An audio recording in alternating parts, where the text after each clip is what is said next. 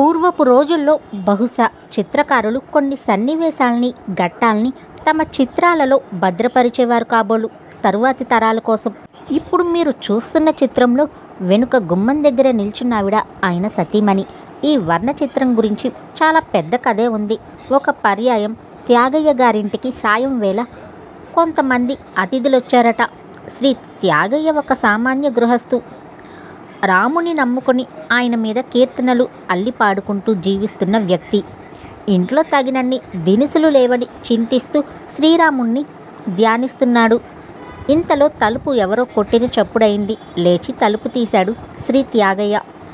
ఒక ఐదు మంది పురుషులు ఒక స్త్రీ కొన్ని మూటలతో నిలబడి ఉన్నారు.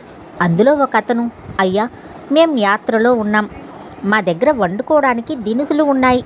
అయితే పాత్ర సామాగ్రి లేదు. కాబట్టి మీ ఇంట్లో వండుకొనిస్తారా? అని అడిగాడు.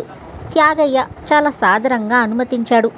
వారు తమ వస్తువులతో అక్కడున్న వారందరికీ వండి వడ్డించి త్యాగయ్య గారి దగ్గర సెలవు తీసుకోవడానికి వచ్చారు.